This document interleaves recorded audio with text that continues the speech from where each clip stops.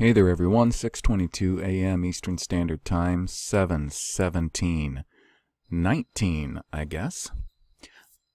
I'm going to continue this time with what I started last time, but it is my hope that I can actually conclude the matter of Meriwether Lewis pretty quickly, only because I think uh, some of the material that I mentioned in the book by um, Laffrey is pretty interesting, and I am hoping to get to some of that, only because, as I said last time, it's it is a very interesting read not only because of the material he covers from the mid 90s but his conclusions that he came to afterwards. Uh, maybe this could be sort of a segue um, from this series based on Schrag to uh, some of this material uh, by Laffrey. And who knows where it'll go to from there, but I am hoping that this may conclude this series for now. It this subject will again come up because of the continuing studies I have. So there's no worry about that at all, but you know, all of these things historically, they they all tie together, you know, there are uh, there's every reason to believe that uh, unification theories are are not just possible but uh, inevitable.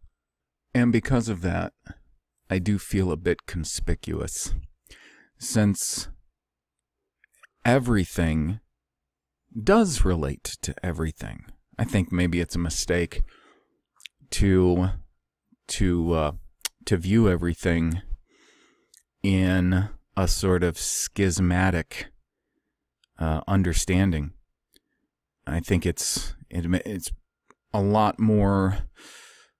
Uh, I don't want to say intelligent.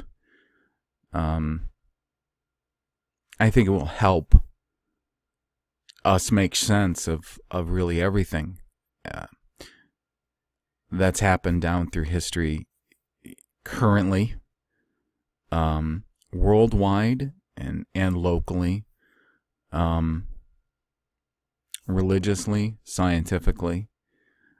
Uh, I think there's more to be said about unification than disunification. So part of you know where I left off last time was Lewis had uh, gotten to Griner's uh, inn, and, then the next morning, his body is found with with multiple stab wounds, two gunshots, and apparently it's being ruled from the start as suicide. Now, there's so people have spent an inordinate inordinate amount of time discussing this. I'm not saying it's a waste of time. Um, an author who is now deceased, uh, named Gail, wrote on this extensively in her later life. Um, Laffrey has spent a considerable amount of time studying Lewis and the and the death thereof. As I said, there were hearings done. Um, there was a coroner's hearing that took place in Tennessee. Um, all of the evidence was being presented by this guy, James Starrs, this professor from D.C. That you can find in the book by Laffrey. Um, but it's going to take a while. That the book's a few hundred pages, and he writes the book as a narrative of his life. So you can see it's basically a, a portrait of a guy who was in the same situation as all of us were at one point in time when we didn't really have much of an understanding of how things worked. Um, I would have to say that the foundations that were established in the early 20th century with the secret purpose of de educating and dumbing down Americans uh, through public education. They've done their job really well, and that's why all of us were at that point that he is at at the beginning of the book. Uh, a good chunk of this book has to do with a relationship which he uh, describes as shameful, which I agree. Um, there's a number of conclusions he comes to or things he asserts in the book I agree with. However, we fundamentally disagree on the matter of the veracity of the Bible and Christianity in general. Um, unfortunately, like many others who uh, dismiss biblical veracity, the claims of biblical veracity outright, have not really spent a very large, sincere amount of time therein. Um, they don't tend to heavily articulate their disdain. And uh, another uh, character that exemplifies that sort of mentality uh, would be Jan Lamprecht and his uh, sort of partner in their endeavors called Team White, Alex Linder, a particularly repugnant personality, I might add.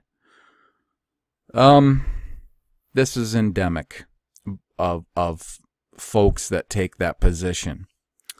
Um, and because of that, I I I simply can't find myself running parallel to them whatsoever. Unfortunately, yeah, they've come to understand some certain truths about the way things are, and they all being quote unquote white, um, having a certain distinct racial profile, have adopted certain points of view. Um, unfortunately, they're just not taking the next step um, in applying that to the biblical historical narrative, which is the the very reason that we would be at such odds.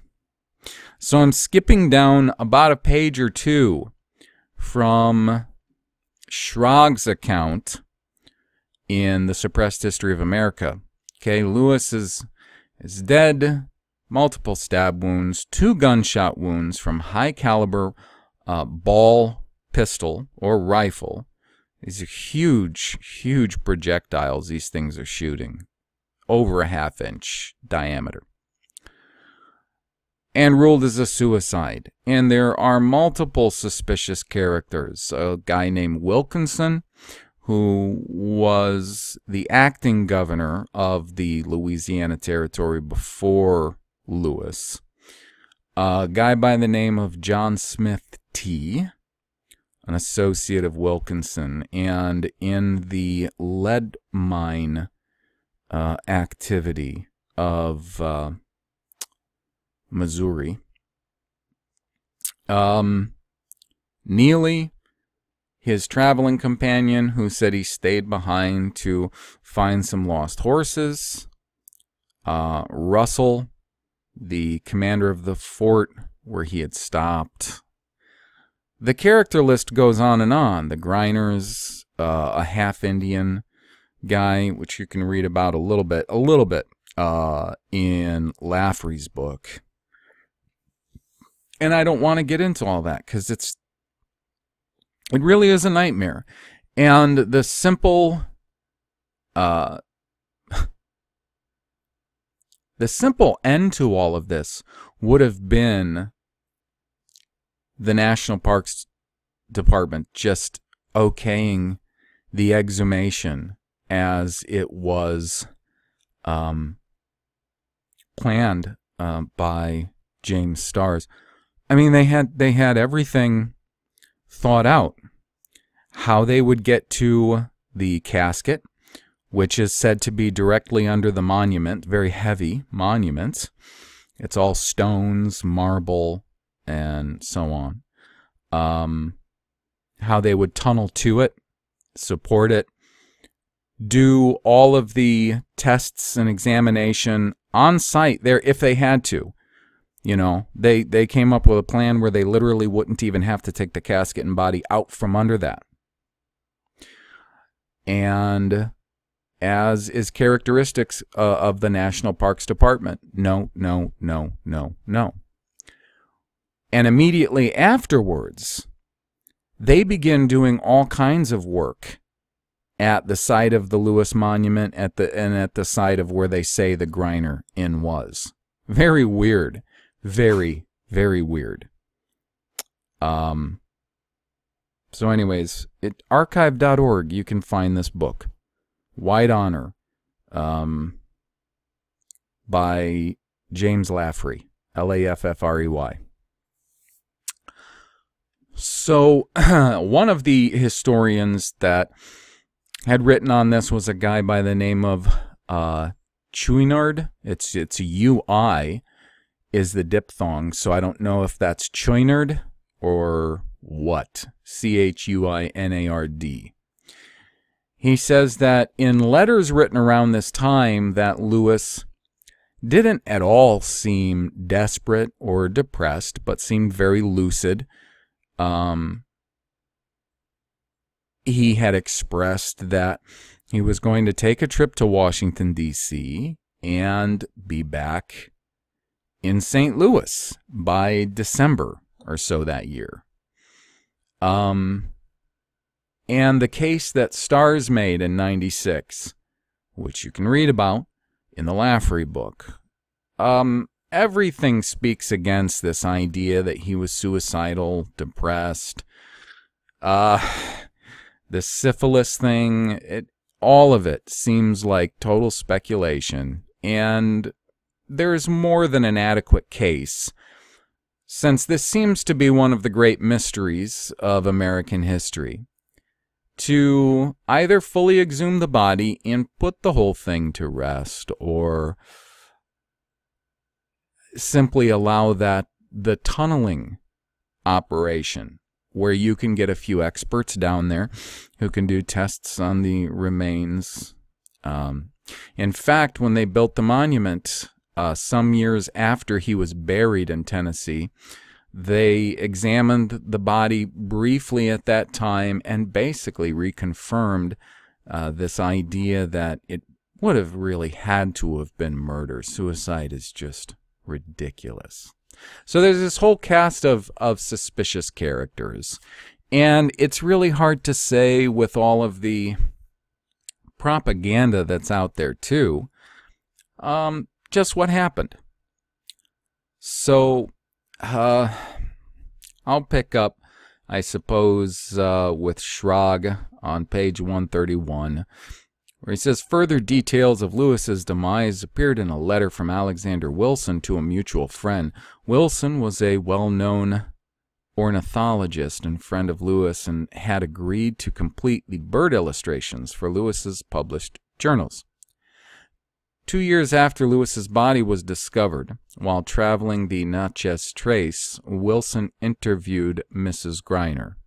He recounted the conversation in a letter to Alexander Lawson, dated May 28, 1811. It reads Next morning, Sunday, I rode six miles to a man's of the name of Griner, where our poor friend Lewis perished. In the same room where he expired, I took down from Mrs. Griner the particulars of that melancholy event, which affected me extremely. This house or cabin is 72 miles from Nashville and is the last white man's as you enter the Indian country. Governor Lewis, she said, came there about sunset alone and inquired if he could stay for the night. And alight, uh, alighting, brought his saddle into the house. He was dressed in a loose gown, white, striped with blue. On being asked if he came alone, he replied that there were two servants behind who would soon be up. He called for some spirits and drank very little. When the servants arrived, one of whom was a negro, he inquired for his powder, saying he was sure he had some powder in a canister. The servant gave no distinct reply, and Lewis, in the meanwhile, walked backwards and forwards before the door, talking to himself. Sometimes she said he would seem as if he were walking up to her and would suddenly wheel around and walk back as fast as he could.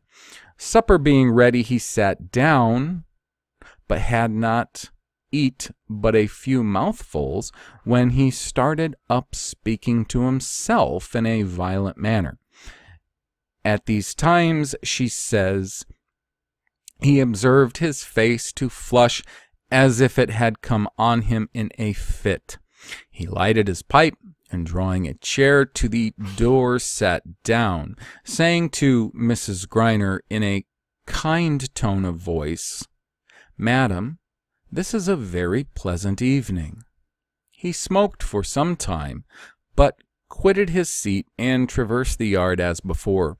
He again sat down to his pipe, seemed again composed, and casting his eyes wishfully towards the west, observed what a sweet evening it was.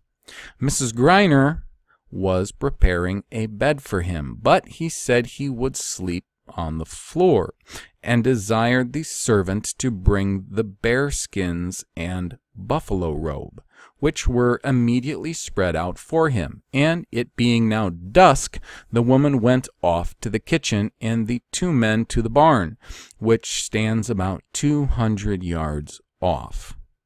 The kitchen is only a few paces from the room where Lewis was, and the woman, being considerably alarmed by the behavior of her guest, could not sleep, but listened to him walking backwards and forwards. She thinks for several hours, and talking aloud as she said, quote, like a lawyer. She then heard the report of a pistol and something fall heavily on the floor, and the words, O Lord, Immediately afterward, she heard another pistol, and in a few minutes she heard him at her door calling out, Oh, madam, give me some water and heal my wounds. The logs being open and unplastered, she saw him stagger back and fall against a stump that stands between the kitchen and room. He crawled for some distance raised himself by the side of a tree, where he sat about a minute. He once more got to the room. Afterwards he came to the kitchen door, but did not speak. She then heard him scraping the bucket with a gourd for water, but it appears that this cooling element was denied the dying man. As soon as day broke, and not before, the terror of the woman having permitted him to remain for two hours in the most deplorable situation, she sent two of her children to the barn, her husband not being home, to bring the servants, and on going in they found him lying on the bed. He uncovered his side and showed them she, well, he uncovered his side and showed them where the bullet had entered. A piece of the forehead was blown off and had exposed the brains without having bled much. He begged they would take his rifle and blow out his brains, and he would give them all money he had in his trunk. He often said, quote, I am no coward but I am so strong, so hard to die. Unquote. He begged the servant, John Pernier, not to be afraid of him, for that he would not hurt him. He expired about two hours or just as the sun rose above the trees. He lies buried close by the common path, with a few loose rails thrown over his grave. I gave Greiner money to put a post fence round it, to shelter it from the hogs and from the wolves, and he gave me his written promise he would do it. I left this place in a very melancholy mood, which was not much allayed by the prospect of the gloomy and savage wilderness which I was just entering alone. Biographer and editor of one of the earliest accounts of Lewis's adventures, Dr. Elliot Coues, C O U E S, describes the account given by Wilson of Lewis's death as the one likely to be most accurate. He explains that because of Wilson's scientific training and expertise as a researcher, the accuracy of his account should be considered highly, despite the amount of time that lapsed between Lewis's death and the report. What he doubts, however, is the story provided by Mrs. Greiner, which he characterizes as preposterous at best. And I agree. He also questions strongly the final memoir written by Jefferson. In fact, Coues was so certain that the claim of suicide was bogus, he wrote his own supplement to Jefferson's memoir of Lewis. He writes Jefferson's memoir of Lewis is a noble and fitting tribute, leaving little to be desired as a contemporaneous biography. It has been accepted as an authoritative and final, and has furnished the basis of every memoir of Lewis I've ever seen. What else I have to say concerns not Lewis's life, but the circumstances of his death and certain subsequent events. The affirmation of suicide, though made without qualifications, has not passed unchallenged into history. Undoubtedly, Jefferson wrote in the light of all evidence that had reached him until 1813. But when it appears that his view of the case was far from that of persons who lived in the vicinity of the scene at the time, there is no more room to doubt Wilson's painstaking correctness than there is reasons for doubting his veracity. But the narrative of Miss Greiner is very extraordinary. A woman who could do as she said she did, after hearing and seeing what she testifies, must be judged, quote, fit for treason, stratagem, and spoils, unquote, and not to be believed under oath. The story is wildly improbable on its face and does not hang together. There is every sign it is a concoction on the part of an accomplice in crime, either before or after the event. On the theory that Mrs. Greiner was privy to a plot to murder Governor Lewis and therefore had her own part to play in the tragedy, even if that part were a passive one, or on the theory that, becoming afterward cognizant of the murder, she told a story to shield the actual criminal or criminals. On either of these theories, we could understand Mrs. Greiner. Otherwise, her story is simply incredible. Yet it is upon such evidence as this that the imputation of suicide rests. Now, at this point, I am not going to continue Schrag's narrative simply because it, it doesn't offer any closure. Anybody could read what material there is available on Lewis, the writings of contemporaries at the time or since and you can come to your own conclusions.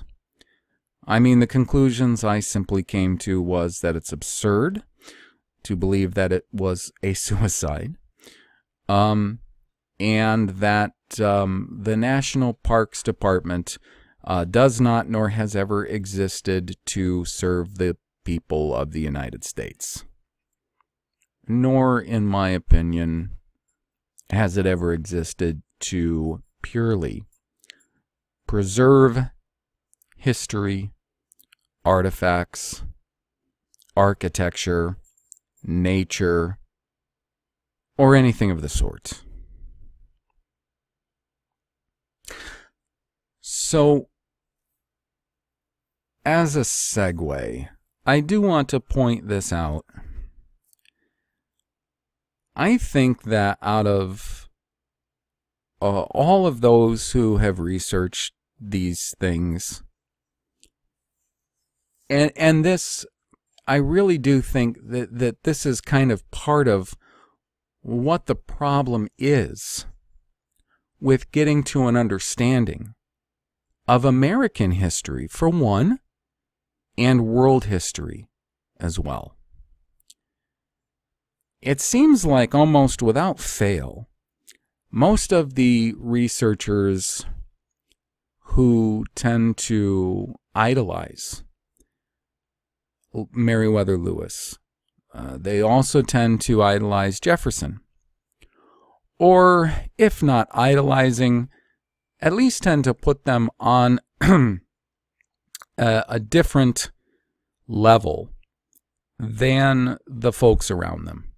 And I think that's I think that's a terrible mistake. I think it clouds their judgment. And I think that's one of the reasons that more progress has not been made in understanding the life and events and death of Lewis or of Jefferson. Um, more and more people that are objectively looking into history are starting to understand the nefarious character of guys like George Washington, Benjamin Franklin, John Adams, James Madison, and so on. However, they keep, at least for now, skipping over all of the problems in the lives, the families of, and associations of both Meriwether Lewis and Thomas Jefferson. And I think that's a great mistake. That until it's remedied, historians and avid researchers are probably going to be continuing to come to the same relatively erroneous conclusions and not getting closer to the heart of the matters, which will help to explain both American history and world history, since America has been for at least a few centuries, excuse me, sort of the the heart of what is going on in the world.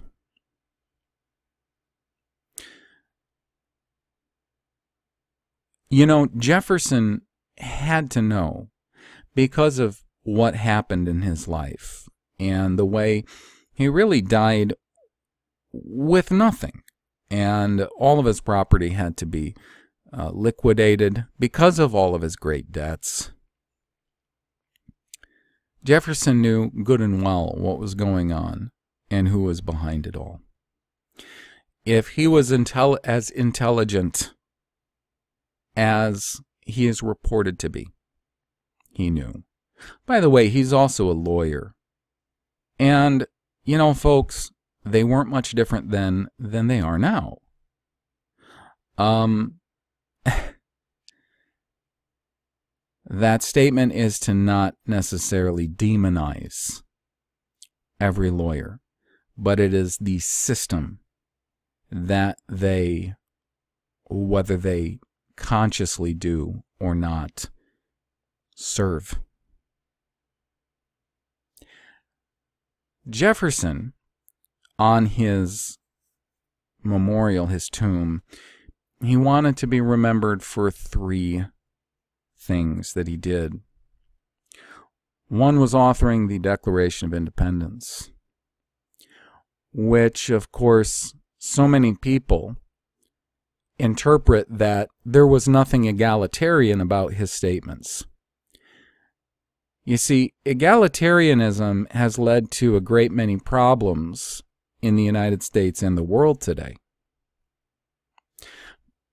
But in order to maintain their idolatry of Jefferson, they have to interpret his words as being different than what they appear to be saying on their surface. That was Act 1. Act 3 was his founding of the university in Virginia. Now, the second was his writing of an act in Virginia that basically lawfully was a lawful allowance for freedom of religion. Now, many people might look at something like that and say that that was a good thing. However, I strongly disagree. Now, I certainly don't want to live in a state where there is, say, let's just say a state wherein the Catholic Church has full power over the belief and practice of every soul in that state. Um, as you could see, somebody like E. Michael Jones would, would very much like that to be the case. The problem is there is besides the the problems right on the surface with Catholicism and the Bible, and anyone, including a German monk 500 years ago, could make a very good case as to the problems between the teachings of the enforced canon laws of the Catholic Church or the Orthodox Church or any church and the Bible because there's too much about it, the Bible, that can be argued about. There is serious problems with the language and the way that we understand it, both of the Old Testament and of the New Testament. And if you have one monolith that presides over an entire society and says there will be no further interpretation other than what we allow or what we say. That is a problem. Now, there is another faction in our own day who is working very hard to install those same kinds of hegemonic control over how we uh, perceive and interpret, understand, and practice the Bible. And a lot of people then would look at something like that and say, well, that's a very good thing. And what he's mostly saying is, here's the problem. He's not saying that. That's not what he is is trying to secure is the freedom to say disagree with the Pope or the freedom to say disagree with whoever the Lord Governor of a territory or state would be, who would want to impose, uh, you know, their strict regime of religious points of view. And should you disagree or dissent, you could be facing a great amount of trouble. That's not what he was doing. He was opening a door to anyone who believed anything to hold public office.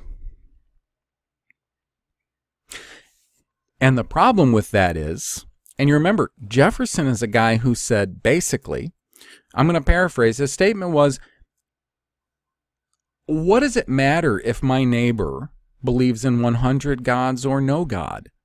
It neither picks my pocket nor breaks my leg, which is absurd to say.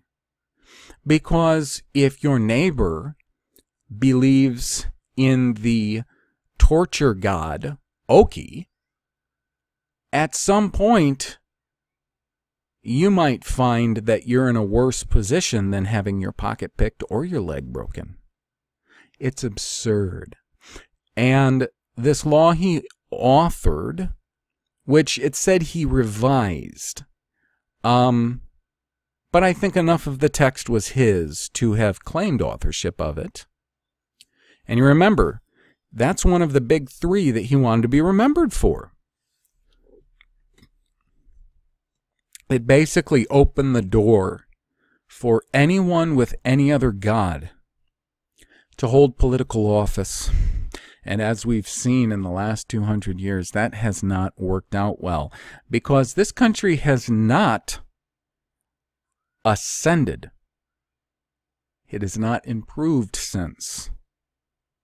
It has gotten worse. And that, the fact that nobody's spiritual belief can be held as any sort of factor in their obtaining of office is a horrific thing. It is a terrible thing. Now, everybody might have different beliefs on that, but I will tell you this. If you are somebody who claims to believe in the Bible, then at the same time, you can't believe that these ideas of freedom of religion are a good thing. In anything past one monolith, as I just said, um, holding sway over a land and a people, wherein you cannot express dissent or different opinion concerning the tenets of the Bible and its practice. That's one thing. That's not what he was doing. He was not talking about that. He was talking about any God, any practice, any belief somebody may have should not bar them from public office in a country that, from everything we've been told, is supposed to be Christian. The two don't harmonize. So I don't view him as a friend of the people or liberty. His Jefferson Bible and the statements that he's made about it, obviously, he was not a Christian and he had contempt for it. And maybe that's why some people who are atheists or have contempt for the Bible idolize him. But you know, he knew who the enemy of humanity was in his day. And with all the things he said and is remembered for in all his writings, I have not yet seen one statement denouncing them.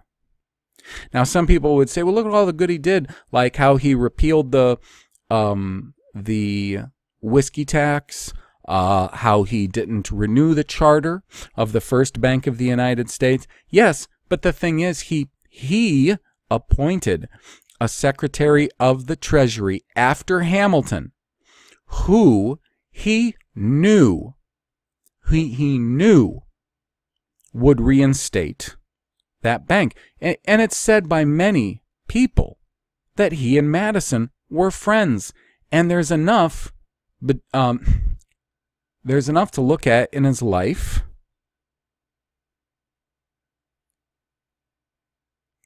to where I think anybody judging the situation would also agree that it didn't seem that he and Madison were enemies at all.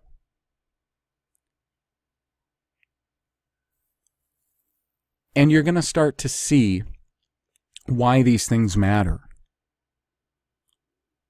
The Secretary of Treasury he appointed.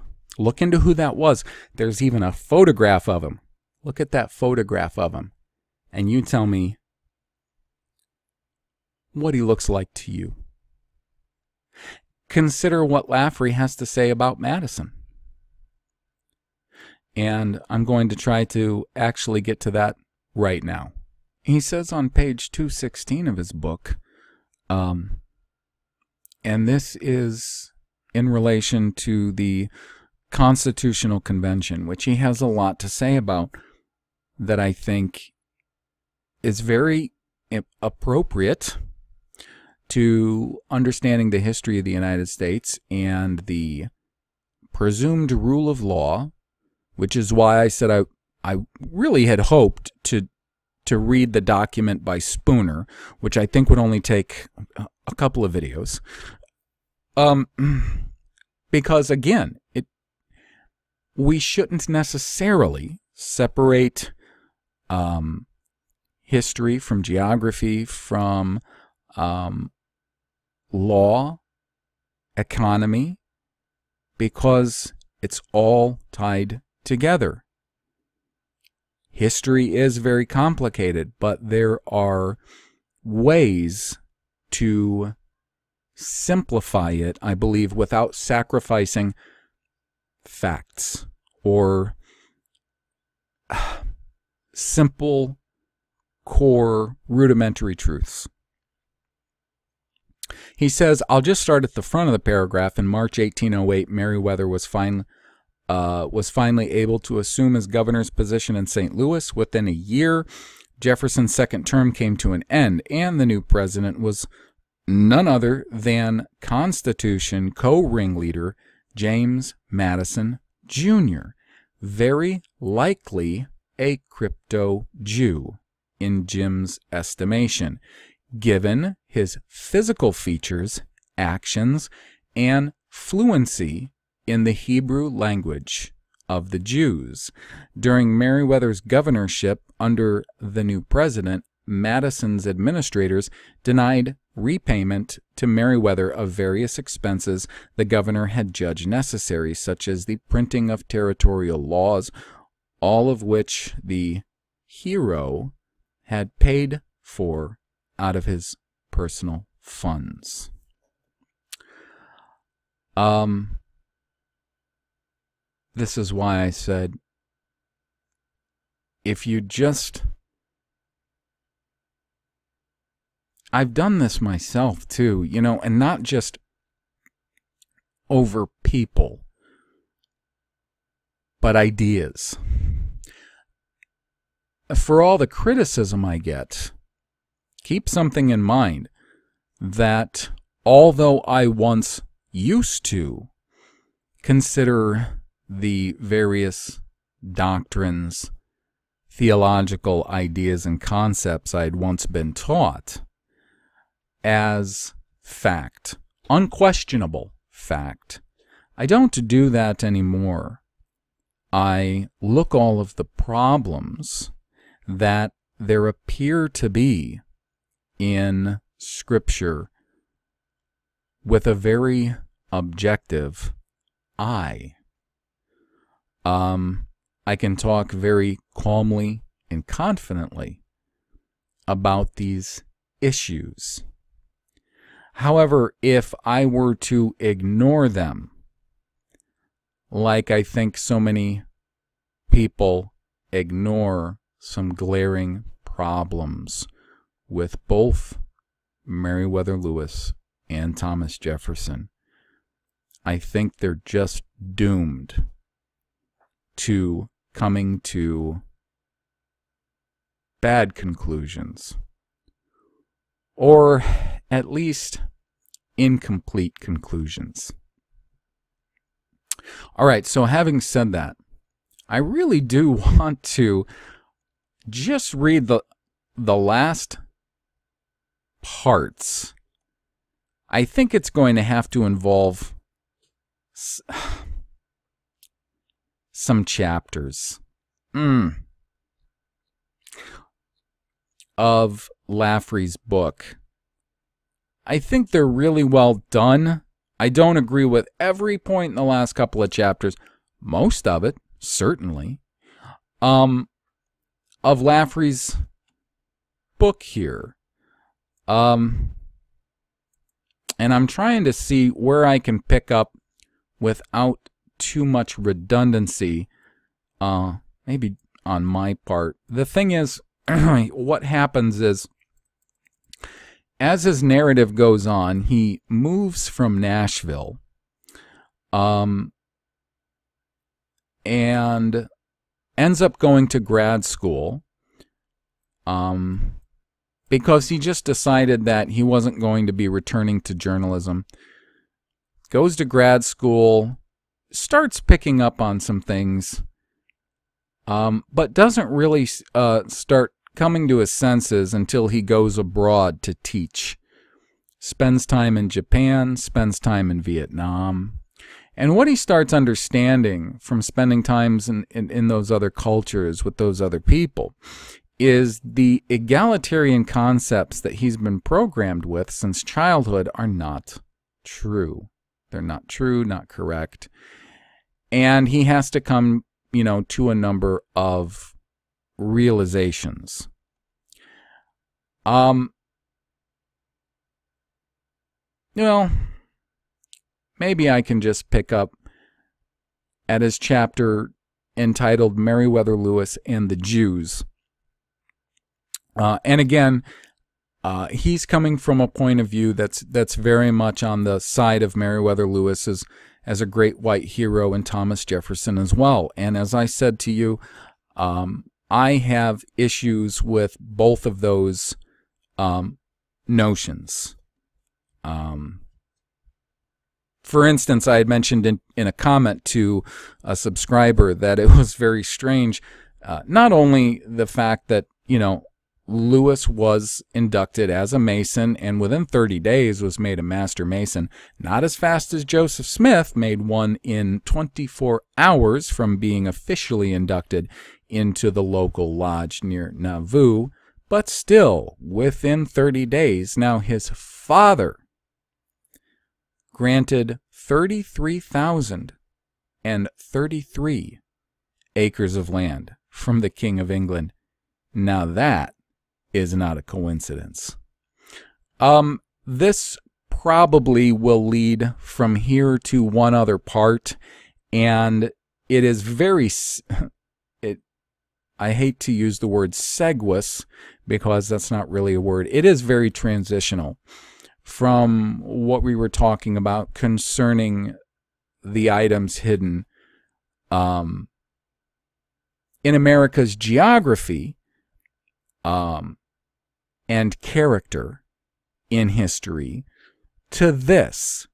But it is extremely appropriate, which is why uh, I am going to be using it in uh, a transitional way. So here goes.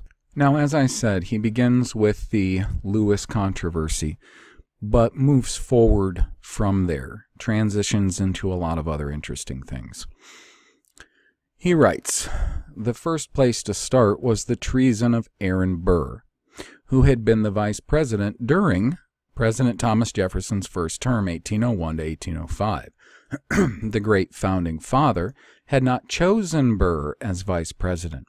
The flawed election system at the time put the two the top two vote getters in office, thus inflicting number two Burr upon Jefferson's administration. Meriwether Lewis's service as the president's private secretary was from 1801 to 1803, thus overlapping with the pres- presence of Burr for two years. Meriwether Lewis, a friend of the Jefferson family, had been in the Army for a decade before Jefferson took office and invited him to be his private secretary in the White House. Um, as an aside, I don't know if I mentioned this or not, but Schrag mentions that while in the military for those 10 years, it is said that Lewis was court martialed five times and was exonerated five five times. I mean, that's in itself is worth some uh, closer examination. He continues, Together they planned the Dream Expedition, Upon Jefferson's brilliant purchase of the Louisiana Territory, the president sent Meriwether in 1803 to learn vital skills, such as determining latitude and longitude at any position on Earth, to prepare equipment for the expedition, and to appoint the men to serve under his leadership. The Corps of Discovery embarked from St. Louis in 1804, and their triumphant return was in September 1806. For Jim, one of the most intriguing and satisfying events during the time of the expedition, but not part of the expedition, was the famous duel between traitor Aaron Burr and traitor Andrew Hamilton, resulting in the deserved death of Hamilton. The only better outcome imaginable for the journalist was if the duels, when he says the journalist, he's speaking of himself, was if the duel's shots had resulted in dual deaths. Crypto Jew Hamilton had been President Washington's Secretary of the Treasury. His vile anti American financial deeds had been opposed by Jefferson and later partly undone by President Jefferson. Now, keep in mind, the man that Jefferson appointed to Secretary of the Treasury was a very nefarious character himself who got America back into the second Bank of America. You you can't put all of that on Madison's shoulders. In the fall of 1806, as national hero, Meriwether Lewis returned to the East and to the capital. He was informed of the tremendous commotion across the country because of Aaron Burr's plots, including Burr's ultimate intention to invade Mexico and make himself king. Now, me personally, this is me talking here. I don't know what that has to do with America. If he had. Okay, didn't the Texans do that? You know, forgive my ignorance here, but if he had plans on invading a foreign territory and conquering a portion of it, how is that different than what the Texans did? Or what America did when expanding west of the Louisiana Territory? What's the difference? How does that make him a traitor per se? I also like to point out it would seem that if one can understand that Burr and um, Hamilton, if if some if one views them as both bad guys, then what you can see is factions. And if you can see that, I would hope that one could also apply that to the possibility that you know, Lewis and Jefferson might not have been wearing the white hats, while everyone else, the black hats, um, unfortunately to me, as as I look at, at all of this and don't have the time to really look very, very deep into these matters as of yet, I'm seeing most of them just wearing various shades of gray hats. Um, anyways, continuing. Um, President Jefferson had issued a nationwide order for the arrest of Burr. Meanwhile, Burr was fleeing down the Mississippi with the intention of getting into a British naval ship and presumed safety at Pensacola, Florida. However, en route, Burr was detected and arrested in February 1807, later taken to Richmond, Virginia, and locked up there until his treason trial held through August, September, and October 1807. Thus, despite Meriwether's eagerness to pursue post expedition responsibilities, such as the extensive preparations necessary before professionally produced journals and scientific results could be published, he was delayed by, among other matters, the dominant political crisis of the time, which was the Burr conspiracy. Meanwhile, in March, which was after Burr's arrest and prior to the trial, Jefferson appointed Meriwether to be the new governor of the Louisiana Territory, displacing General James Wilkinson from that post. Wilkinson, who had been concurrently the head of the U.S. Army and governor of the Louisiana Territory, was known to have cooperated with Burr and to have turned St. Louis into a hornet's nest of corruption. um, boy.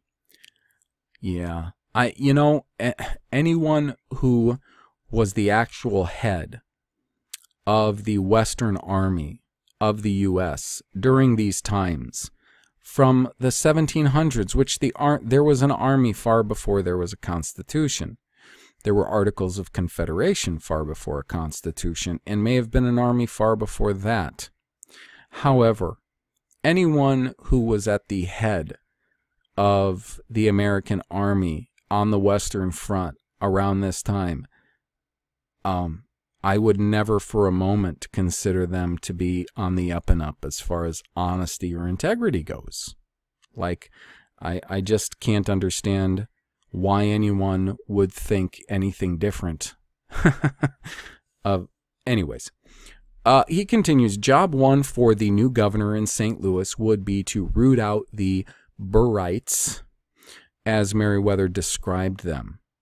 That job first fell upon the Secretary of the Louisiana Territory, Frederick Bates, who actually had quite a career uh, after this, who became the acting governor upon Wilkinson's military reassignment southward against the Spanish. Bates would have to wait a year for Meriwether's arrival to the governor's chair. Despite the huge load of the post expedition duties, family matters, and other personal responsibilities that Meriwether had to pursue. Everything was delayed. Meriwether had always been an asset to President Jefferson, and it was certain that the president pressed the great 33 year old into service during the pre-trial and trial activities against the former vice president and his network of treason. Jim already had read the online transcription of the treason trial of Burr. The journalist had recognized the judge's actions as at least worthy of impeachment and likely deserving of his own trial and execution for treason. The worst crime by the judge, who was Supreme Court Chief Justice John Marshall, a longtime political opponent of Thomas, Thomas Jefferson, was his limiting of the court's definition of treason, as to make a verdict of treason impossible. Thus, as intended, Burr got off. President Jefferson's reaction was reported as furious. The president wrote, quote, We supposed we possessed fixed laws to guard us equally against treason and oppression. But it now appears we have no law but the will of a judge. Likewise furious, in Jim's estimation, was Meriwether's reaction, and certainly so was Jim's. As the text of the testimony from the witnesses laid bare, to him, a network of treason. General Wilkinson was another suspect. subsequently, the general was proved as a co conspirator with Burr. But the ever crafty Wilkinson had saved himself in late 1806 by betraying Burr directly to Jefferson, thus apparently duping Jefferson into thinking Wilkinson a patriot. If not duped, how else could it be explained? The journalist thought that Jefferson continued to allow Wilkinson to head the army. A barrage of letters from respectable citizens of St. Louis had informed the president of Wilkinson's network of corruption involving illegal land schemes, collusion in the lucrative and vital mining operations of lead and other resources, and key governmental posts. Indeed, as Jim learned, that Western network extended from Nashville to St. Louis to New Orleans. Among these men were heinous traitors and murderers. And uh, me personally, I have not gotten to find out what great value the western counties of St. Louis had, per se, um, though they are along sort of the crook of the Missouri River um, as it um, comes from the north and then heads eastward to the Mississippi near Kansas City, Missouri. Um, there is something about that land there, sort of a tri county area, and specifically Independence. And that's the reason that Joseph Smith had a so called revelation about heading that way. And you, you'd just be astounded at how many Mormons there were filling up that area as early as 1833, only a few years after the so called revelation of Smith, or the translation of the golden plates by Smith. And of course, that's all a different story. However, um, as I said, unification, all of this has certain veins that run through it. That should help us to understand. And what Laffrey is talking about here is just simply one vein that helps us understand what's going on. It's a big vein, though. If you remove it from history, you're not going to understand history nor the present world. So he continues thanks to the evidence presented by Professor Starrs, eminent team at the coroner's inquest in Hohenwald. Uh, that's in the place in Tennessee where Lewis was buried, and they had the coroner's inquest. Uh, combined with the evidence culled from the journals of Lewis and Clark as edited by Gary Moulton, plus the evidence from the journalist's other research, and with recent facts exposed and published by Kira Gale, Thomas Danisi, and others, the fog was lifted to reveal various henchmen and accomplices of the western branch of the network of treason. But which ones were Jews? That was the most important question, and the journalist knew of no researcher but himself asking it. Another silent question was whence the funding came for Burr's major expenses. So far, Jim had found no reports on that. Yep, always follow the money. The head of the Western branch of treason was surely General James Wilkinson, as the investigative journalist learned. Wilkinson was later proved by documentation from Spain that he had been a paid secret agent for the government of Spain since 1787. the year of what Jim called the Con, capital C O N, Convention of Treason in Philadelphia. Wilkinson was later shown to have had destroyed the career of the military hero George Rogers Clark, older brother of Meriwether Lewis's friend William Clark.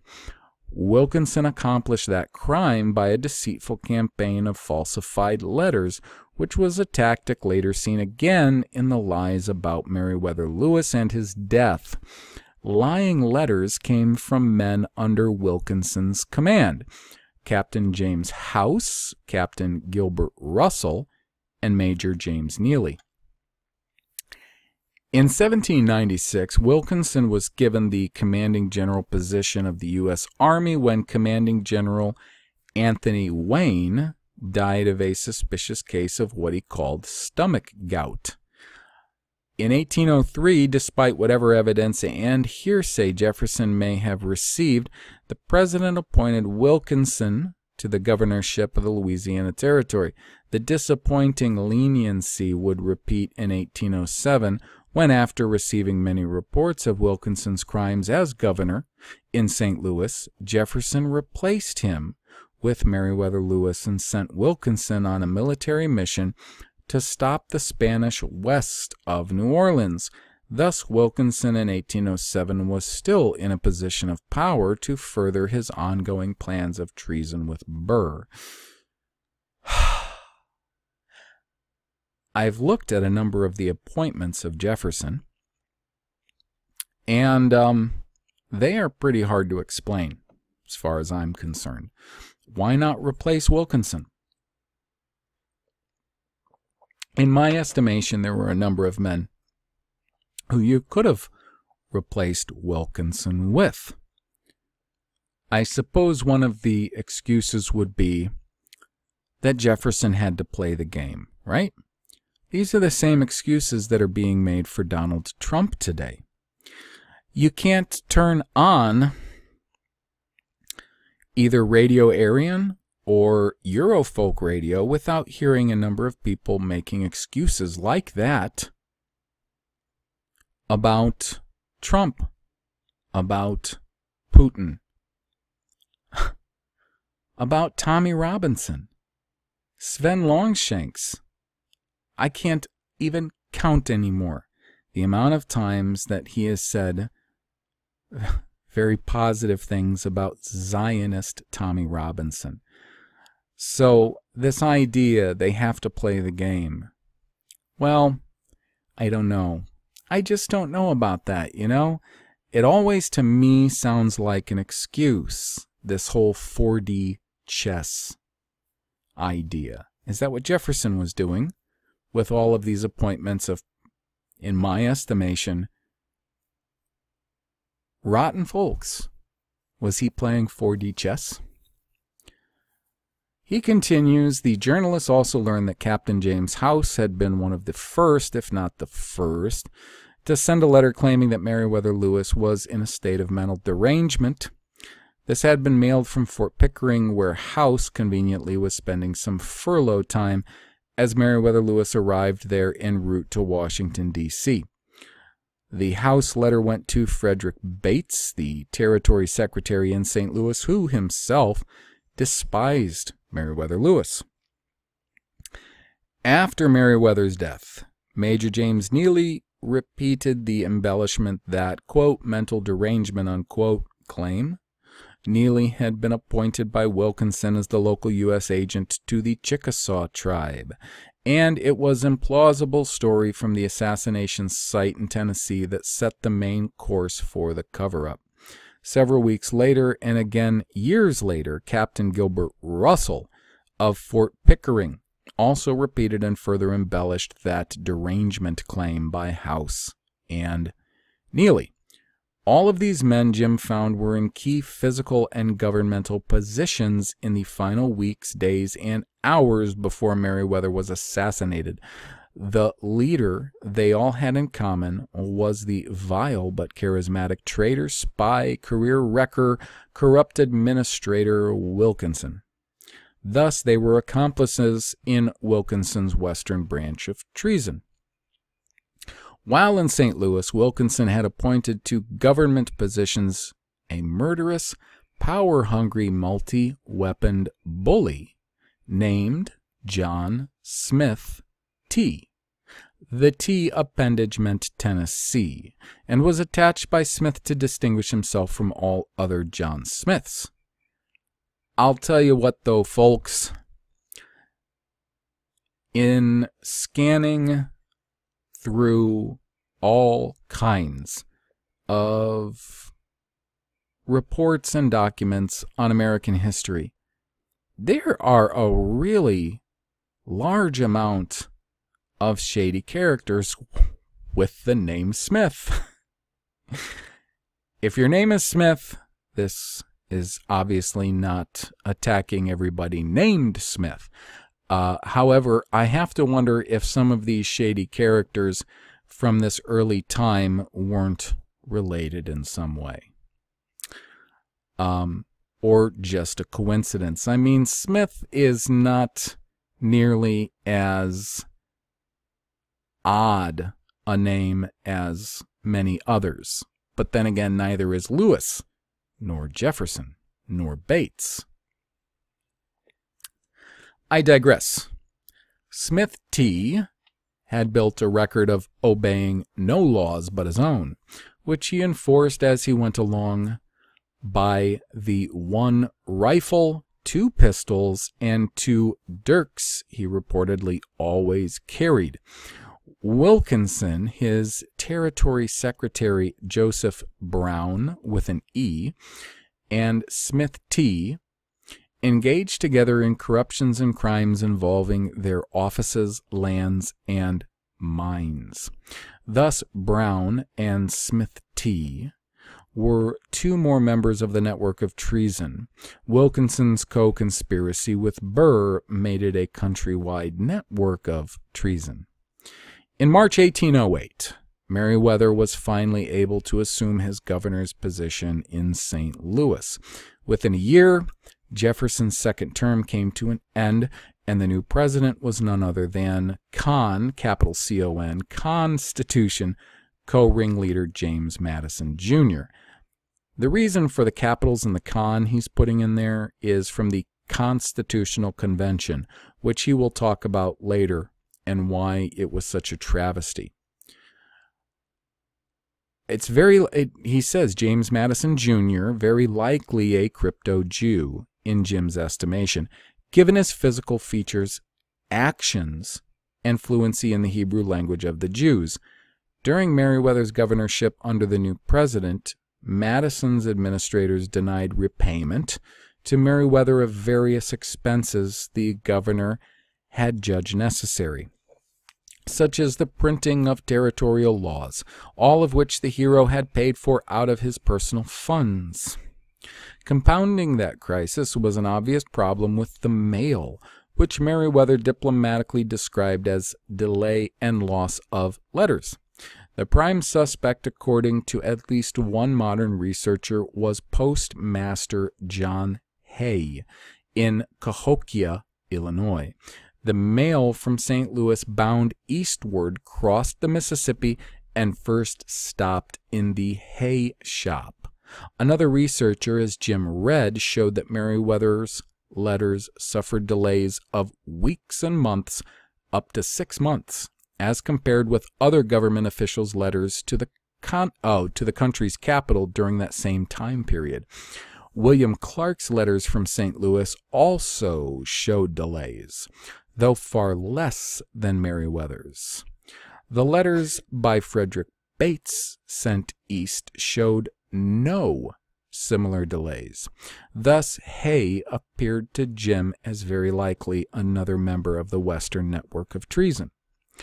A further clue about Postmaster Hay was that his father, Yehu, or John Hay, or maybe his name was Yehu John Hay, born a Brit in early Pennsylvania, was second in command at Fort Sackville when hero George Rogers Clark's forces defeated Hay and cronies during the American Revolution.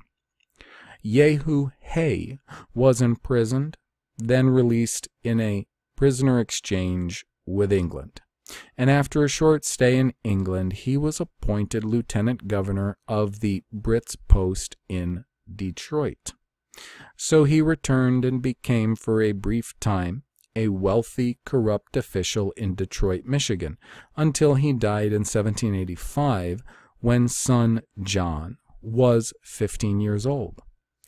A chip off the old block, John was pro Brit, anti American throughout his life. For example, John Hay refused to help the USA in the War of 1812. Three years after the murder of the great American man to whom Hay had pretended to be a friend, Meriwether Lewis. For journalist Jim, every name known to be popular among Jews threw up a red flag, as did odd names such as Yehu Hay.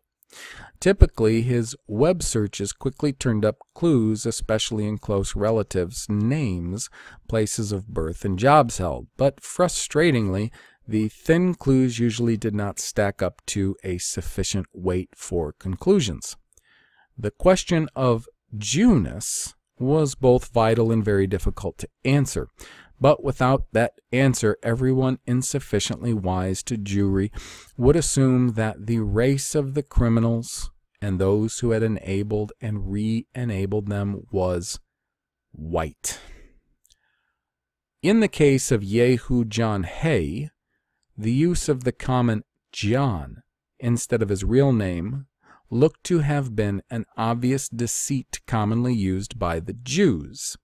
So Yehu, the father of John Hay, went by the name John, but his name was actually Yehu, J E H U, Yehu Hay.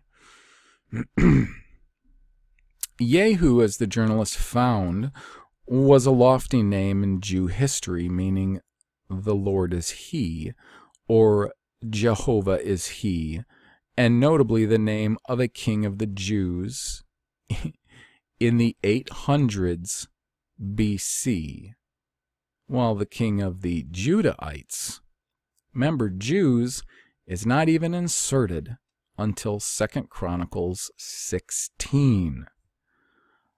The fact added significant, and by the way, that this term being inserted into the Bible was something that was accomplished more recently than long, long ago.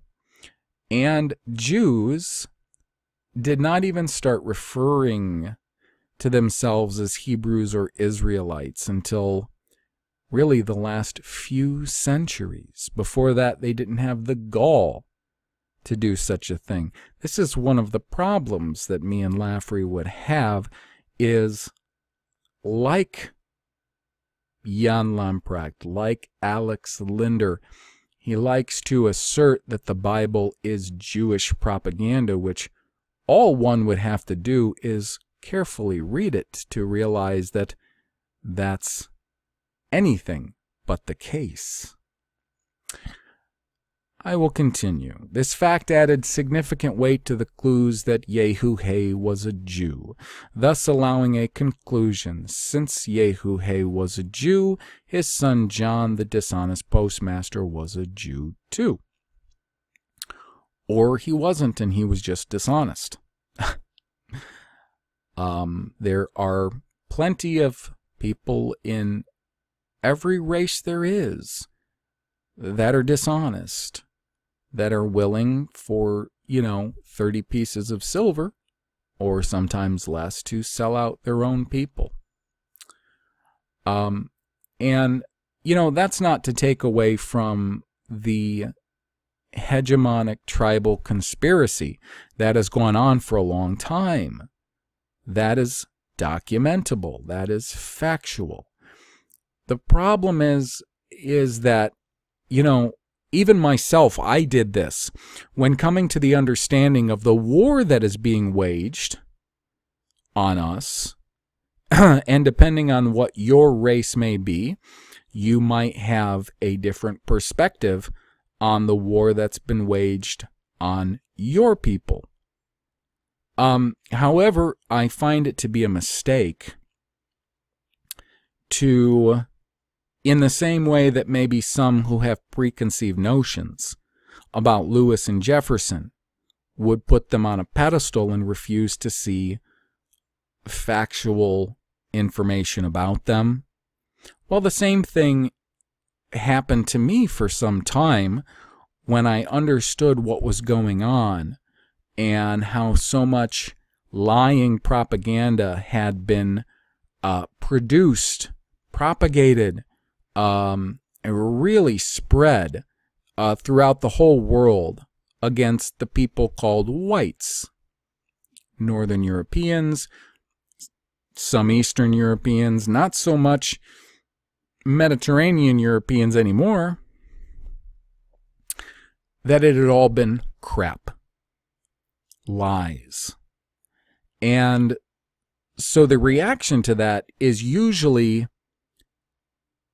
well, first off, if you have a healthy mind, you're going to reacquire um, a love for your own people that these lies had leached out of you pretty much from birth.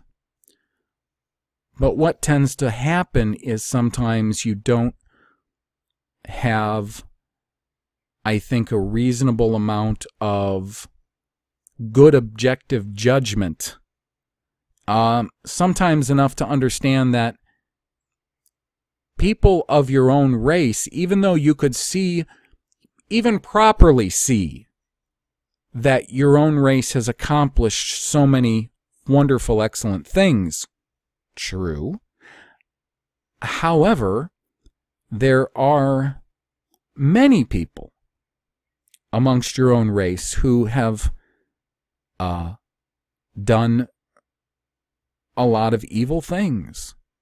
You, you have to look at these things objectively. You know, all you need to do is read Romans 9 through 11 if you don't believe me. So I find that to be one of the downsides to learning what's going on and to learning if you're, in quotes, white, learning all of the lies that have been spread about you and people like you. Anyways, he continues. For the journalist, there were many more people to investigate, but not uh, at this time. There was no, or but there wasn't time, but not the time. There isn't. He's right. It's very difficult too to figure out who's who and who's Jew. Very difficult. Um, and sometimes you have to come to certain conclusions. Um, and those are really tough because you really you want to get to the heart of what's true. I do. I'm not going to speak for him. Um, you know, I'll let him speak for himself here, but I do. And so if you don't have the facts, you tend to be very reticent at coming to conclusions that could be unfair. You don't want to do that. Um, however, there has been a very effective campaign to make many people's lineage and race known. So he goes on, there was no doubt in him that Jews had been in place from New York to St. Louis and on to San Francisco as soon as the West Coast city was established. On the web, he had found Jew archives that offered lists and descriptions of their historical documents, but of course no easy access for whites to those documents. The list includes the names, locations, and dates of various Jew congregations across the continent. While he knew that the Jews' claims always had to be viewed skeptically, he found the Jew archival documents a treasure trove for learning many more names commonly used by Jews.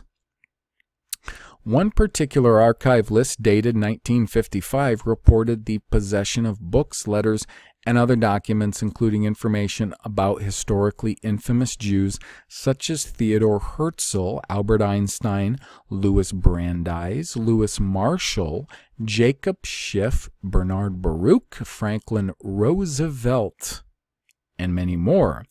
A mere sampling of documents, all written by Jews, showed the early and continued presence of Jews throughout or across the continent. One, a book, Jews in South Carolina, North Carolina, and Virginia, 16, uh, 1695 through 1950 by Alan Tarshish, which definitely sounds possibly like a Jewish name as well, to a book, The Jews in New Jersey, 1702 to 1953 by Joshua O. Haberman. And I'm going to be omitting the dates here if I get any more and just give you the author name. Number three, many items from the Quebec Gazette newspaper since 1768, including a letter dated 14 October 1790 in memorial of the Jew merchants of Montreal, one of the famous locations of treason by Benedict Arnold. The letter was written to Lord Guy Carleton and signed by David David, Samuel David, and Levi Solomons for the circumcision book of Congregation Mikveh Israel in Hebrew in Philadelphia, Pennsylvania, by Bernard Jacobs. Jim had learned that the Jews had duped many whites by way of religion to adopt the vile Jew practice of circumcision in order to help the enemy Jews hide among the white population. okay, indeed, circumcision was a crime inflicted upon the white race. Now, I've heard this. This is me now.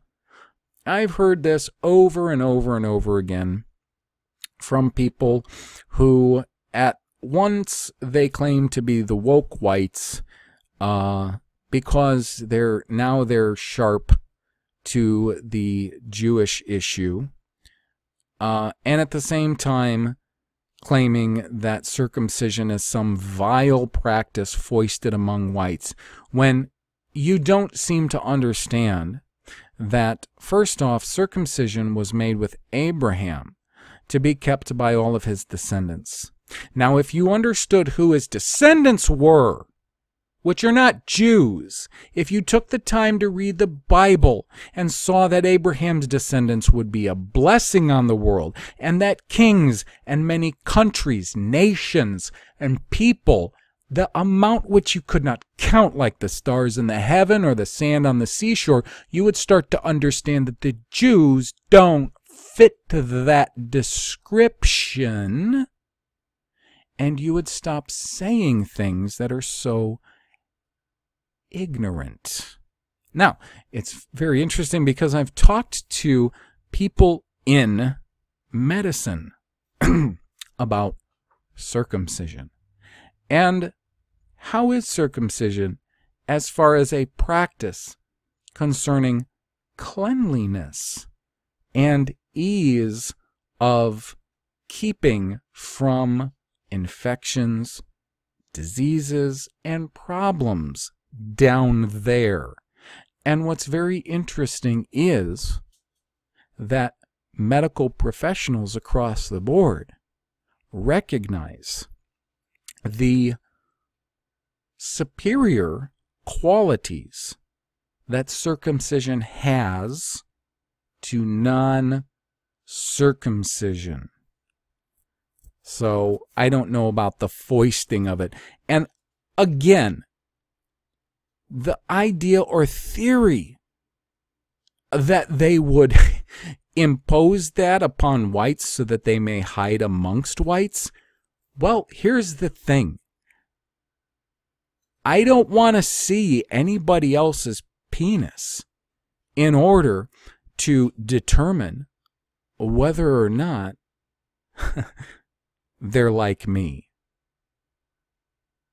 Uh, in fact, that has been traditionally one of the biggest head scratching issues I kind of have with circumcision um, is how often is this going to be an issue um, you know to where you have to you look at somebody else's penis examine their organ in order to, to determine this. This is something that I'm still kind of not fully sure of, of how it works as far as its, its, its implication goes. Um, but you know, I've heard this is this is actually the uh, the sentiment of of of the Icelandic people almost as a whole now because, you know, I've been hearing these stories about them really wanting to push out the Jewish bankers and reject circumcision as being a Jewish thing when it's not a Jewish thing. It's an Abrahamic thing. You know, the Jews can claim Abraham as their ancestor all they want without it being true. Abraham's descendants that were promised to be a blessing to the world were the Israelites. Now, just because they named their country that doesn't make it so. Because they claim to be the descendants of Abraham doesn't make it so. You have to read the Bible and pay attention to what's going on there, or you're going to confuse things. Now, point five a compilation of records of births, marriages, and deaths of the family of the Lyons with a Y, Lazarus, Levy, Hohenfels, and Marks. Now, guys, remember the the man that Meriwether Lewis's mother married after his father died when he was about 10, that man's name was Marks. Anyways, um, six, the last will and testament of David Lopez, 1797, Boston, Mass. As a copy from the Register of Probate Court, Boston, Massachusetts, Jim noticed the name Lopez, remembering it as one of the common Spanish names used by Jews in early American history. Correct, especially among the Jew owners and operators of slave ships. Correct. Also, crypto Jews with Spanish names abounded in Mexico and infiltrated from there into the USA. The archive also contained many letters from the prominent merchants Brown and Company of Providence, Rhode Island. Too many Jews Yes, Brown is a common Jewish name, all named involved in the slave trade and other businesses from 1759 on through the slave trading era.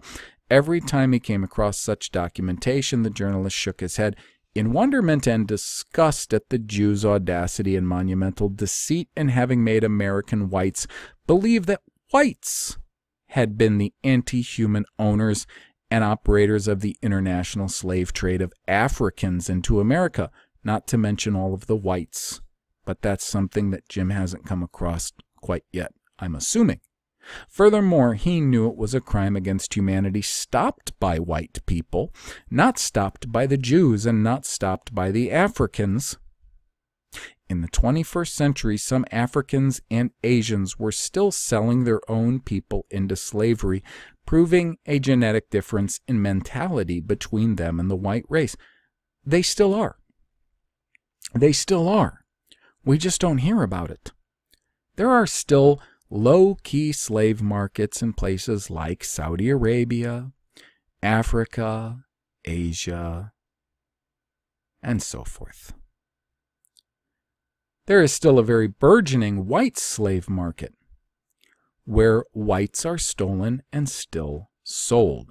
They are sold usually to factions in is not real. That's a big place where a lot of light white slaves are shipped. Point seven, an original of the advertisement by Judah M. Isaacs, Newport, Rhode Island, in the Guardian of Liberty newspaper on Saturday, December 6, 1800. Volume 1, number 10.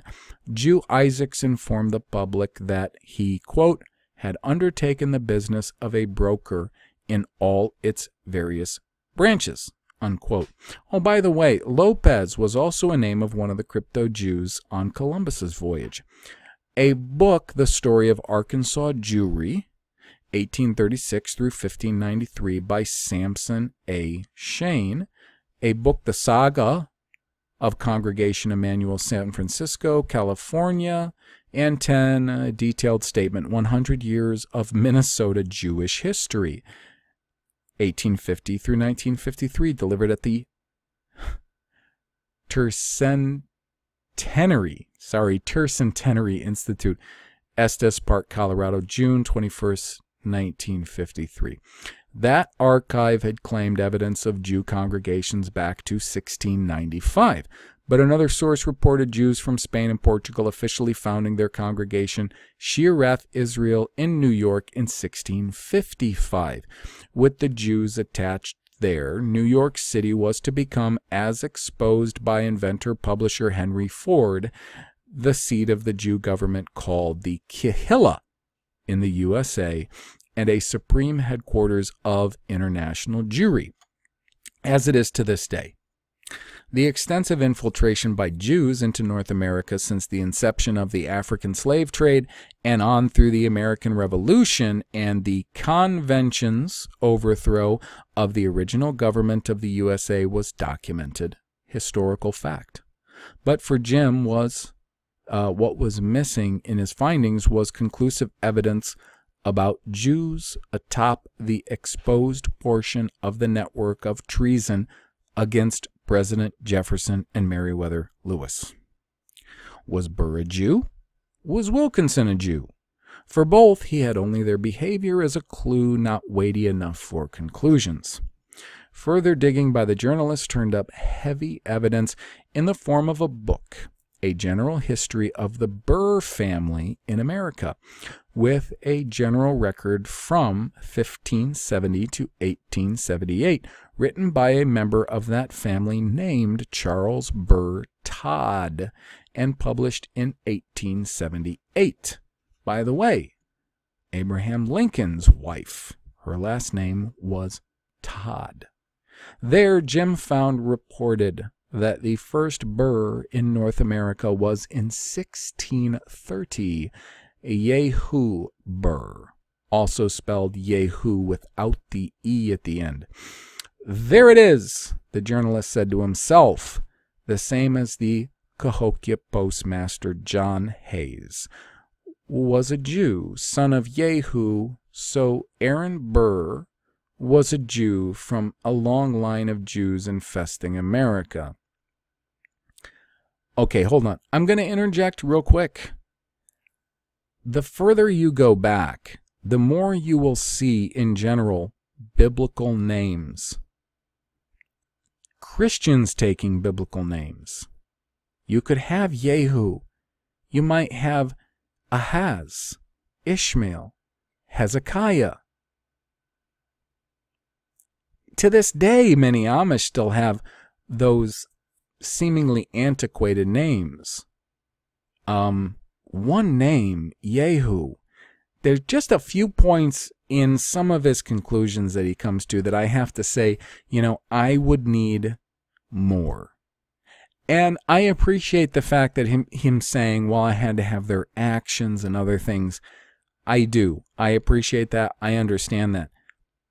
However, what I would have to see is usually um, collusions or associations with certain individuals and institutions that could lead me to believe nothing but that they had to be of a different and adversarial race to whites.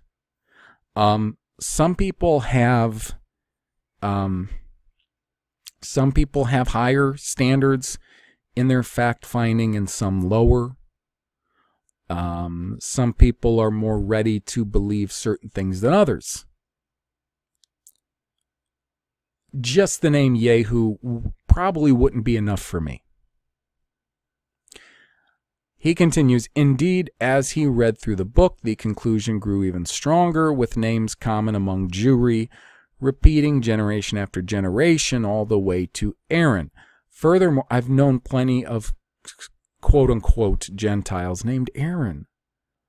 Furthermore, the limited variety of professions fit the historical pattern of Jewry, especially as lawyers, like Thomas Jefferson, in, gov- in governmental positions in control of money. In addition, the Burrs typically had chosen to intermarry with other families with known Jew names. The Burrs were crypto Jews.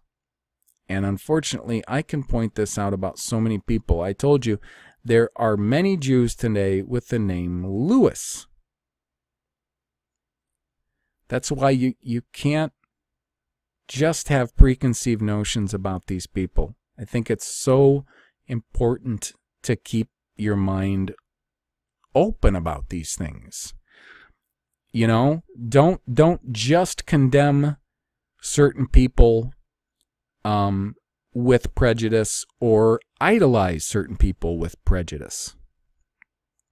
He says, on Wilkinson, I know we're at an hour 40, but I want to get a few things in here before I wrap. This particular chapter actually goes on for some time. However, I do want to continue some things from his book because, especially here at the end, you do get uh, a lot of information kind of packed in. And as I said, a, a good deal of it's pretty decent. He says, indeed, as he read through the book, the conclusion grew even stronger, with names common among Jewry repeating. I already read that. On Wilkinson, beyond the entire adult life of deceit and crime up to and including treason, further evidence came piece by piece. The journalist found most portraits showing a very slanted forehead on Wilkinson, a clue. His mother's name, which the most famous Jew owned sources did not mention, was Betty Height Wilson. The Height intrigued the journalist, knowing that middle names were frequently ancestors' family names. True. Further knowing that Jews had often changed spellings but retained the same or similar pronunciations. Yes, they do. He realized that the height could be akin to the Jew Hay. Oh, H E I G H E. So I guess that would be pronounced Hay. Okay, I'll go with that. Fine. Hay could be akin to the Jew Hay, H A Y, family, or to the more recent Haig, H A I G, family, which may be pronounced without the G at the end. Searches quickly revealed further clues. Hay, H E A H E I G H E, was indeed a family name as confirmed by information from the Wilkinson book by Patricia Wilkinson Weaver Balletta. But without access to the book or other strong sources, the Hay clue came up light. Weight came from Wilkinson's first wife, Anne Biddle. Jim quickly found that she was a member of the famous Jew Biddle family, which included some infamous anti American, anti white criminals. The president of the Second Bank of the United States, an aide to FDR in the creation of the United Nations, a primary judge in the atrocious Nuremberg trials and executions of great German leaders, and a member of the Council on Foreign Relations. See, now we're getting somewhere. Thus, Wilkinson had married a Jew. The Wilkinsons named one of their sons Theophilus, which is an odd name found in the Bible written by Jews and was a name used by Jews during their infestation and ruination of Rome. yeah, actually, the Bible was mostly written by Israelites. Some portions by Judahites, I would imagine, although mostly Levites or Luim and other various Israelites, not Jews. It's so unfortunate when people don't take the time to really investigate the Bible, read the story, the narration, what's going on before coming to conclusions. You know, sometimes it's just downright embarrassing. To this weighty pile of clues, Jim added the procession of get out of court Marshall free cards that the first four presidents gave uh, to the traitor Wilkinson. Only one race in America had ever exhibited both the amoral unity and the powerful influence to save their members. Proved guilty from prosecutions and executions, as Jim had well learned that race was Jewry. But one question lingered in regard to Wilkinson. If he were a Jew, why did he betray his fellow Jew Burr? Now, Jim continues. I'm going to wrap this up with he continues by saying that he theorizes that Wilson knew that if Burr were to go to a trial for treason, that fellow Jews would would uh, get him out of that. Okay, maybe so. It's a theory. He admits that it's a theory. Um, as I said, there is a, a large portion at the end of this book that's really just interesting information, you know, uh, to be thought about. Enough here for a, a separate video. Um, maybe before I go on to the um, Spooner material, which I do hope to go on to. Real, like I said, the Spooner material is only going to be a video or two. So I'm going to cut it off there. I'm at an hour and 45. Um, I'll pick up next time, which is not really going to have as much on, on Wilkinson, Burr, Lewis, because I think we've adequately covered that. Uh, yes, it's a little bit different than the material was in the first four, I think, of Hiding America. But you know something? Hiding the Jewry of America is, as far as I'm concerned, just as detrimental with understanding America as hiding the giants or the white tribes or the original river systems and so on and so forth. So it's important. So I'll pick this up next time. I'll conclude uh, a number of the interesting things that Laffrey has to say at the end of this book. So, till next time, take care, everybody. See you then.